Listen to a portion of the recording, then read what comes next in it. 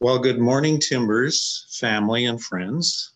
I am glad you are able to join us today, and I hope you are well and enjoying our springtime here in Prince George. I count it an honor to be able uh, to share with you today.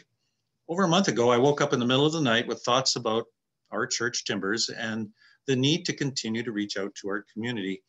And I got thinking about a lot of things and some, tr some trouble getting back to sleep. Well, later that morning, I received a call from Pastor Andrew and asking me if I would preach a sermon regarding the core values of Timbers Community Church that had been prepared as part of a long process to establish a vision statement and a mission statement. It just seemed way too much of a coincidence that these things came to mind in my sleep the night before. So, how could I decline? As mentioned, Timbers has come through a long process to establish its purpose for being. Statements on vision, values, and mission.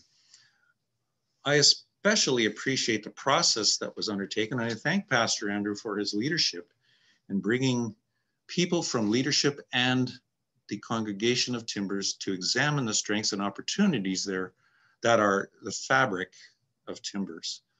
I know that much time has uh, was taken to get the wording just right in each of the statements, and this is a good thing. It's important that everybody can easily understand the intent and meaning of what is stated, but also words can be inspiring. I particularly like the vision statement, the four A's, as I like to call it, alive, alert, avid, and active. Our vision is to be a people alive with the presence of the Holy Spirit, alert to the compassion and love of God, avid followers of the word, and active in living and sharing Jesus with others. Interestingly, the vision closely aligns with the values, which are generally as follows.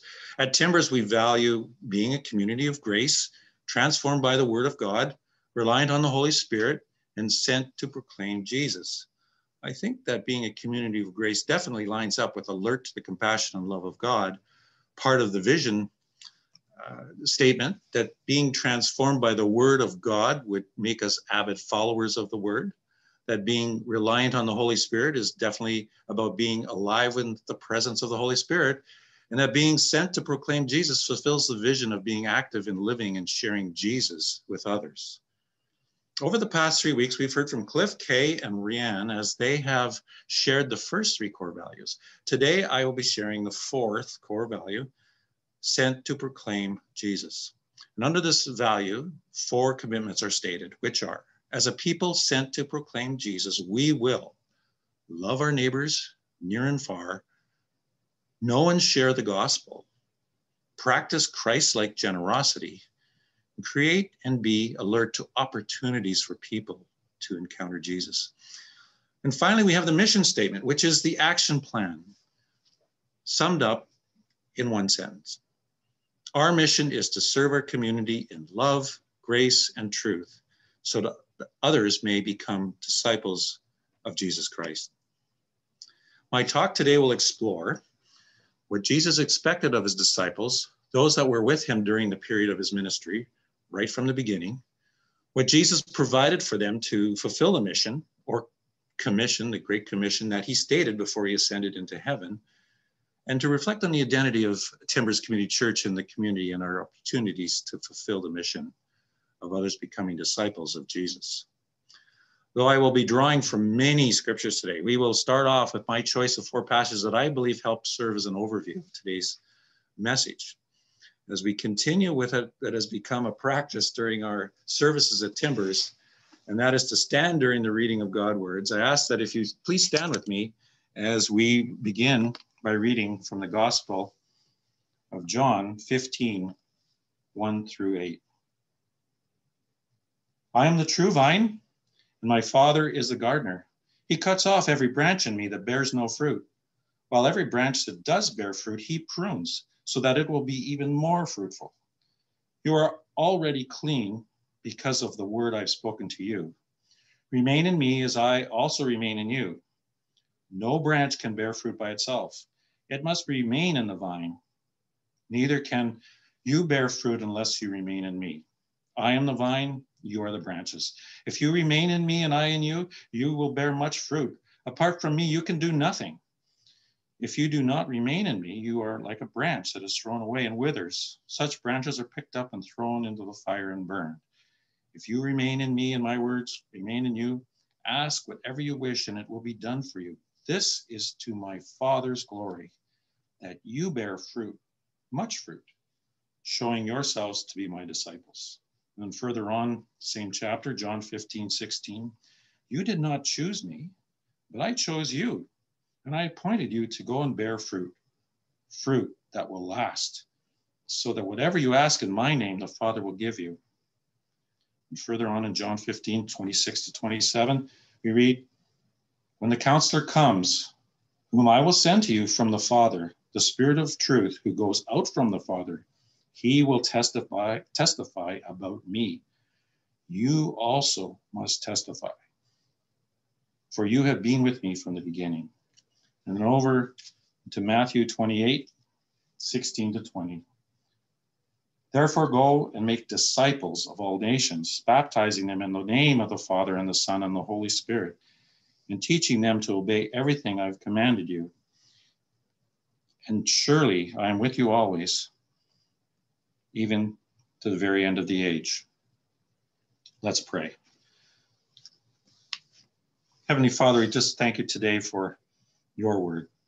We thank you for this wonderful passage that talks about so much. We're going to explore and dig into it. And I just pray today that you give us the understanding and help us to receive from you. In Jesus' name.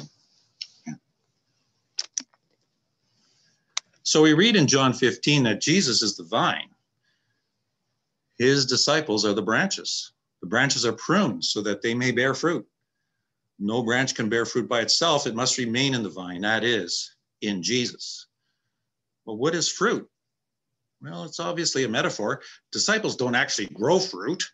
Though fruit is not explained specifically in this passage, we learn that it's something desirable to God the Father.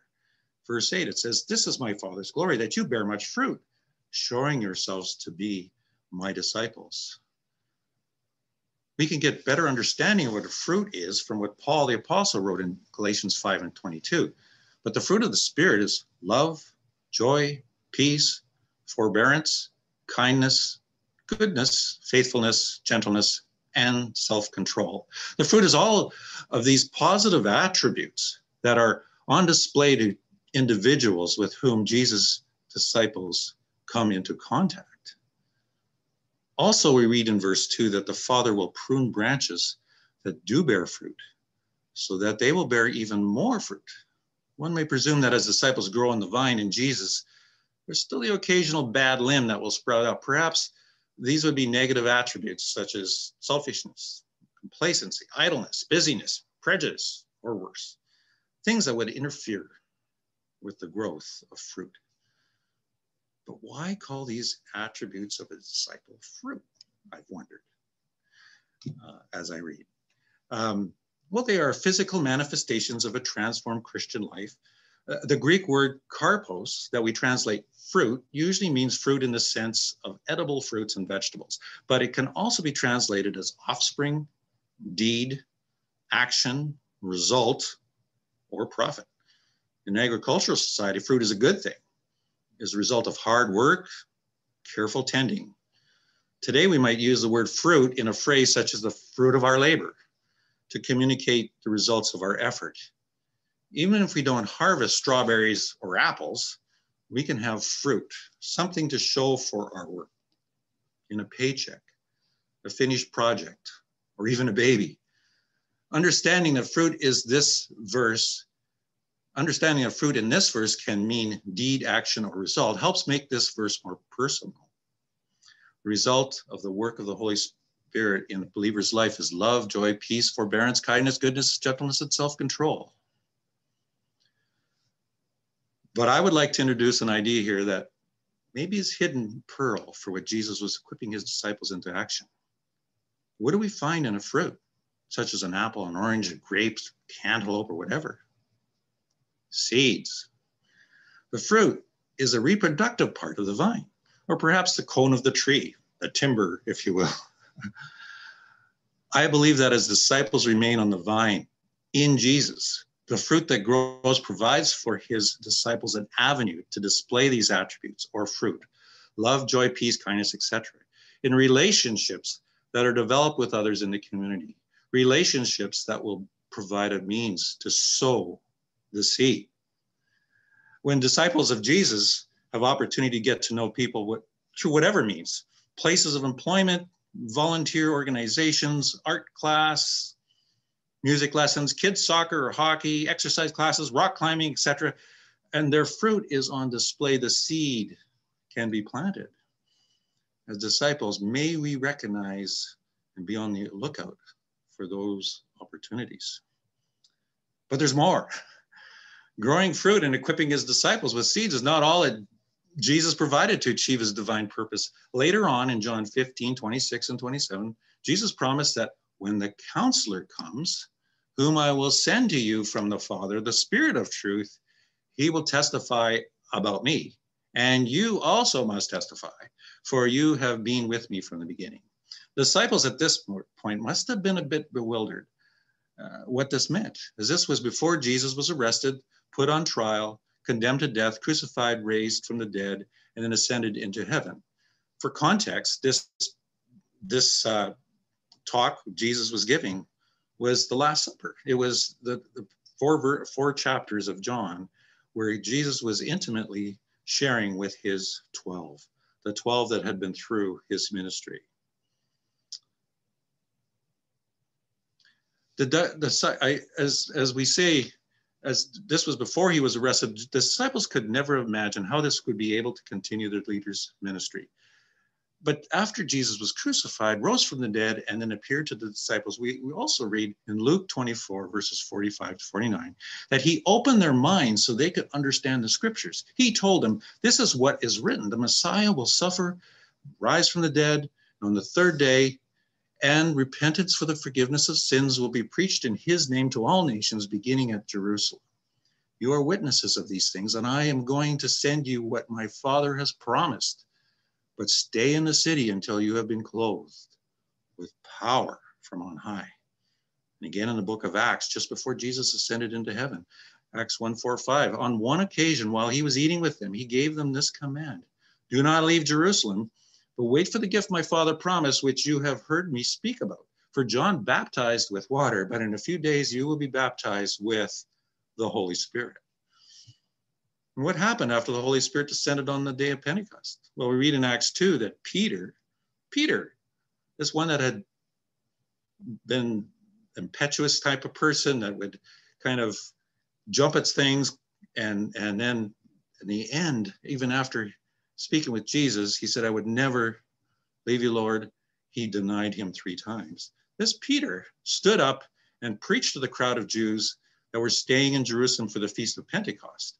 And filled with the Holy Spirit, he said, Repent and be baptized, every one of you, in the name of Jesus for the forgiveness of your sins, and you will receive the gift of the Holy Spirit.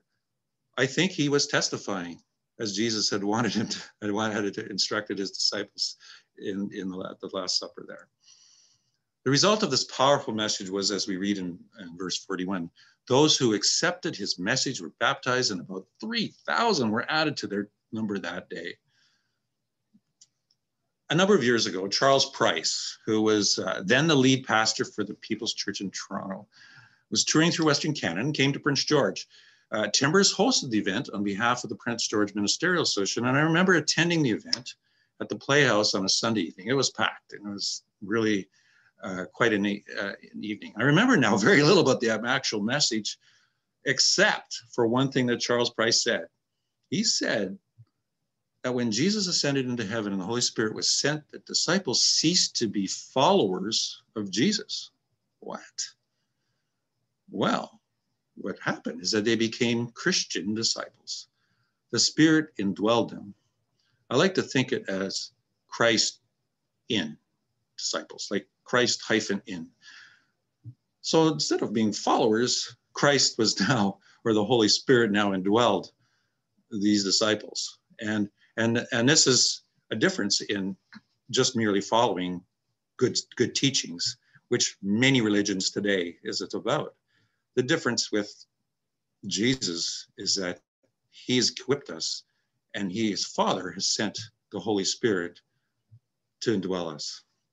So then in review, we see that as Jesus' disciples abide in the vine, that is in Jesus, they will bear fruit, which being on display in the community near and far becomes or an opportunity to sow the seeds of the gospel. Further, Jesus promised that the Holy Spirit would be sent to empower his disciples to testify about him. Now, the next thought is about Jesus' disciples. The group of 12 that were with him during his three year ministry, which of course became 11 after Judas betrayed him, uh, we see here that Jesus had a plan and a purpose for this group right from the beginning. In John 15, 16, he says, You did not choose me, but I chose you and appointed you to go and bear fruit, fruit that will last. And so that whatever you ask in my name, the Father will give you. So let's go back, let's journey back to the beginning of Jesus' ministry when he chose his disciples, his team, that not only would he, uh, they be taught and grow fruit, but would be assigned to a purpose to testify about him.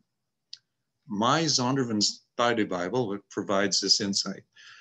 Uh, disciples normally choose the particular rabbi to whom they wanted to be attached, but it was not so with Jesus' disciples. He chose them and for a purpose.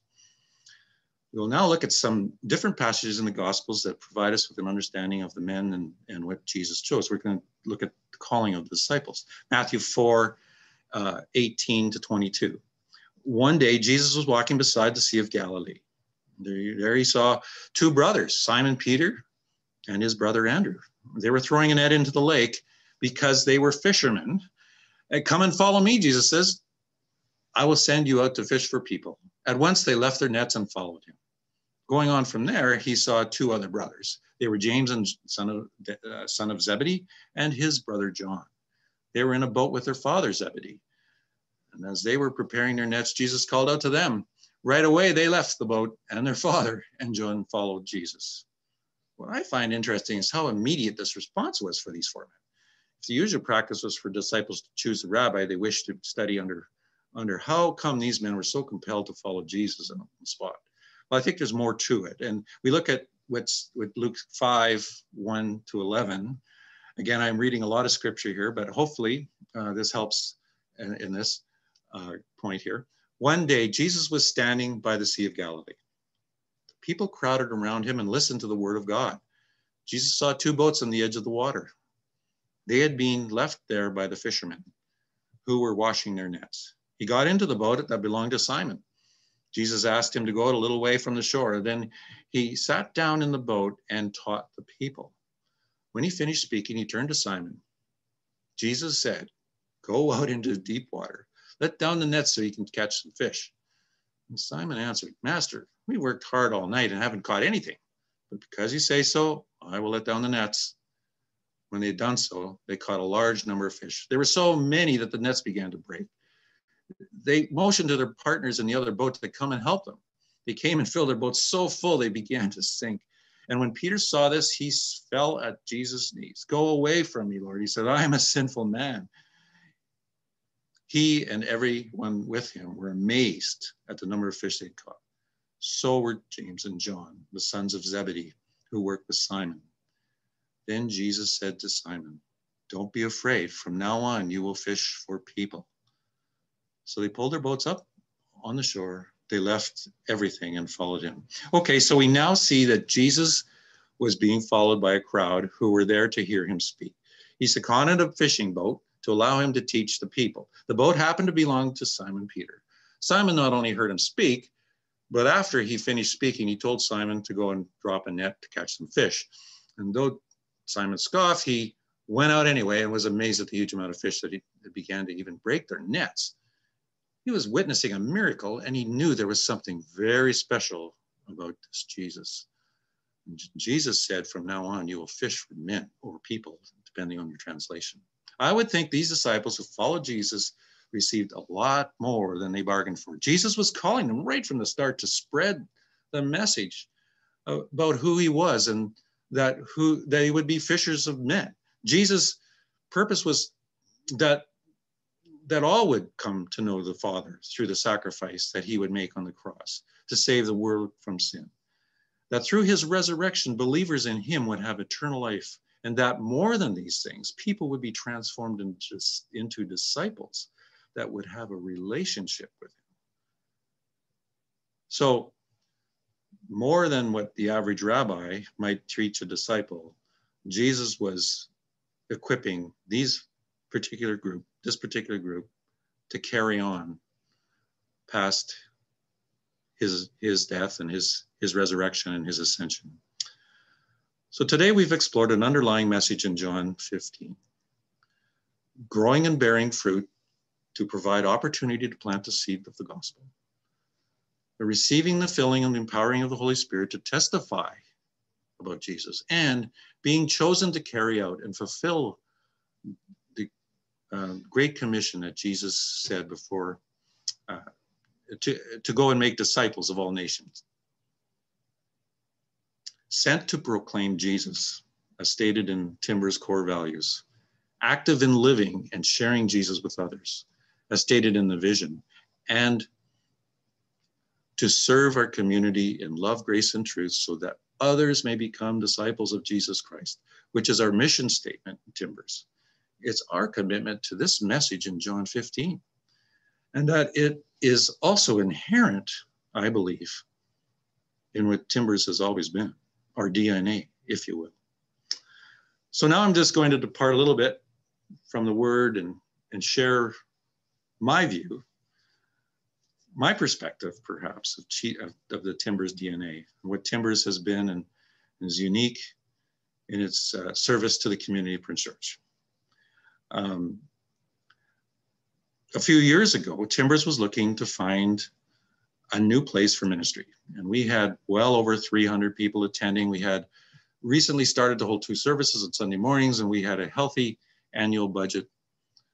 For many reasons, it seemed like the time to make a move and financial commitment to build or to acquire property where we could have a permanent location for ministry. But something came to me at that time, and I wondered about this. And bear with me as I say this.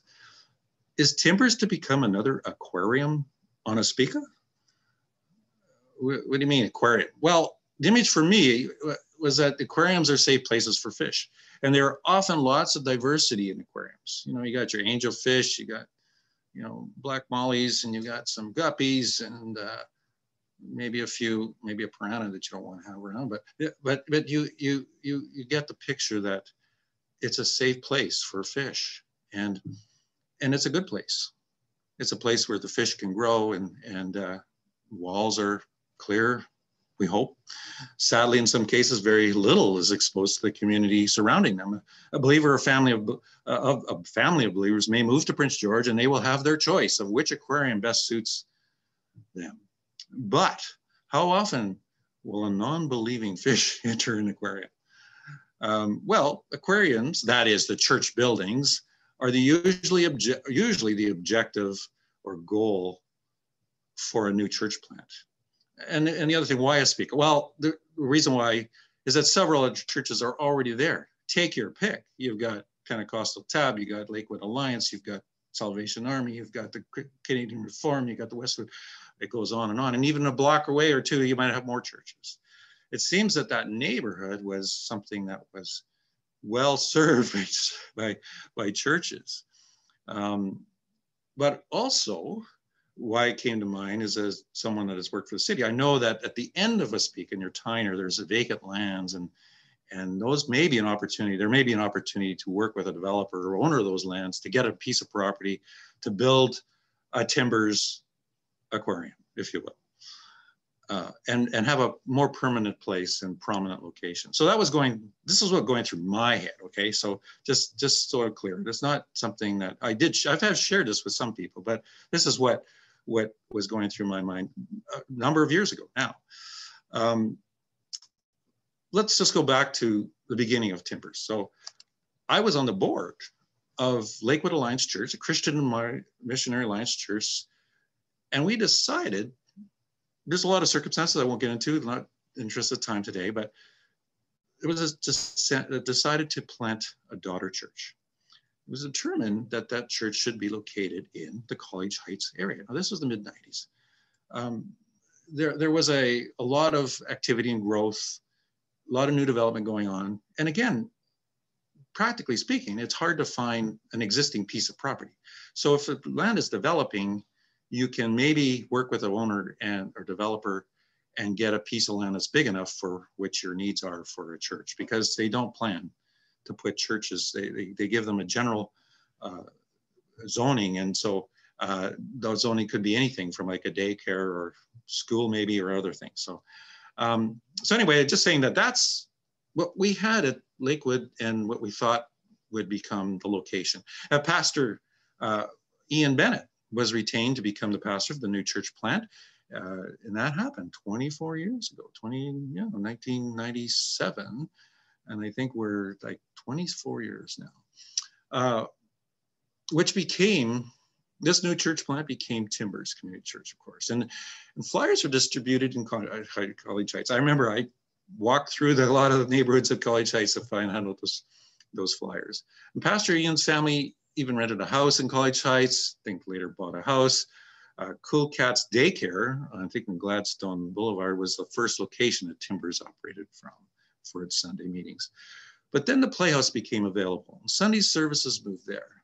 The, the church office ended up being at Pastor Ian's home.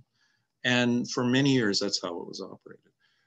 But, um, but the interesting thing is that this sort of moving around a lot. During those early years, many people that came to Timbers, a lot of them were people that maybe had quit attending church earlier in their lives and renewed their faith at Timbers, or they were brand new believers. Well, eventually a storefront building was purchased on Third Avenue to serve as an office and to hold small midweek meetings. And of course, that's become the hub, which we still have today. And we have purchased it, of course. Um, and then 2008, I believe it was, uh, Pastor Ian had to step down due to health reasons in about that time. And, and, and then a period of time, after a period of time, uh, Paul Bertigue became our lead pastors. Well, Timbers experienced significant growth over those next several years. It was a happening place in many respects. Sunday mornings were full of great worship, leading with an incredible musicians. In fact, a recording artist, and Stephen Toon was, was an incredible person and attracted a lot of musicians per se and lots of video, lots of jokes, good speaking. Dare I say, it was an entertaining time to come to a service at the Playhouse, this Timbers. Uh, but the growth that we received during that time, many of those attending had come from other aquariums in the city. And it's not a bad thing. Uh, people may want to move, but that was the growth. That was most of the growth. Now, there was many people still, but not the same as what we might have had in the earlier days. Um, four years ago, uh, and, and just to say that the other thing that that I remember, because I came on the board in 2015, and uh, I won't get into my time with Timbers, but um, initially we did not attend Timbers, my wife and I. We stayed with Lakewood, went to another church for a while, and that closed down. And in 2012, we sound, hey, we're going to go back to Timbers, and that's where we've been since. And 2015, I came on the board, and and uh, and we found that it was really difficult to get people to do stuff. Going to the Playhouse on a Sunday morning was pretty good. People could come and go and get entertained, or let's dare I say, and not really make a commitment maybe they'd made all kinds of commitments in the aquarium that they've been from, and now they could just kind of come get, you know, get their fix for the week. That's again, I'm sharing my view of this, and I don't want to insult or hurt anybody, but I remember the difficulty in getting people to serve and and work at that time. Something disciples might need to be doing, right? I'll just share this. My wife and I, Grace, uh, we live in Nestlake, and we volunteered to lead a Bible study. And it was, you know, a great Bible study. My wife put it together. She was really awesome. and we said, well, let's get a place in the heart area so that people could come to. and so people signed up. And we found a place. The people that we found we were not part of Timbers. Uh, we got to know them really well, and they were very wonderful folks. But you know what? We had Bible study for three months with four of us Grace, me, and these two folks. Not one person from that had signed up from Timbers committed and followed, like committed, I guess, but didn't follow through. This this bothered me a lot because what are we saying? Are people just kind of coming for the fun on a Sunday and not really wanting to really commit to the Lord? So these were symptoms that were there. And of course, I won't get into that too much, but well, four years ago, Timbers endured a split and we find the father did some pruning in our midst. And perhaps even a few branches were cut out of. So this all to say this. So if Timbers is not an aquarium, what is it? Well, it came to me not long ago that Timbers is operated as a fishing boat. And we have found ourselves on the sea looking to cast the net, as Jesus said to his disciples, fishers of people or men, whichever translation you prefer. Look at a fishing boat. A man, you think of Jesus on goat on the water with sleeping in the boat with the disciples and the storm coming up and everybody. I mean, fishing boat on the on the sea can be a pretty scary thing, and we're kind of vulnerable to stuff. And that's kind of what I thought. You know, like, you know, maybe lots of uh, people do still come from aquariums and will join the the boat, if you will. But they will know that there's work to do and that they will have the purpose in mind. And now with our um, commitment here, um, we are looking in our vision statement and our mission and our values to send, um, proclaim the gospel and, um, and to um, proclaim Jesus. Amen. So I would like to conclude with uh, another scripture verse that I believes another one, but some I believe it sums up our core values at, at Timbers Community Church in a way. And it's kind of like to me a pep talk a coach might give to a team as they step out onto the playing field or court or ice rink. I like the living trans uh, living Bible translation for this passage. It's in Ephesians 3, 14 to 21. When I think of the wisdom and scope of his plan, I fall down on my knees and pray to the Father of all the great family of God. Some of them are already in heaven and some down here on earth. That out of his glorious, unlimiting resources, he will give you the mighty inner strengthening of his Holy Spirit. And I pray that Christ will be more and more at home in your hearts, living within you as you trust in him. May your roots grow down deep into the soil of God's marvelous love. And why, and may you be able to feel and understand, as all God's children should, how long, how wide, how deep, and how high his love really is. And to experience this love for yourselves, though it is so great that you will never see the end of it or fully know or understand it. And so at the la- so at last you will be filled with God himself. Now, glory be to God who, at, by his mighty power at work within us, is able to do far more than we would ever dare to ask or even dream of, infinitely beyond our highest prayers, desires, thoughts, or hopes. May he be given glory forever and ever through endless ages because of his master plan of salvation for the church through Jesus Christ. Let's pray. Lord, I just prayed today that you will help us proclaim Jesus, that right from the start, you want your disciples to share, to testify about you. You've equipped us, Lord. The process of us growing off in the vine, which you, which you are, and and as we grow, we have opportunities, seeds, if you will, to to plant. We also have the Holy Spirit who's there for us and, and empowering people. In some cases, people that have maybe a gift, but we are all disciples and we all have this requirement, Lord, to be part of your kingdom and in looking to those that need to know you. Help, may through your Holy Spirit, we will recognize those opportunities to share. In Jesus' name, amen.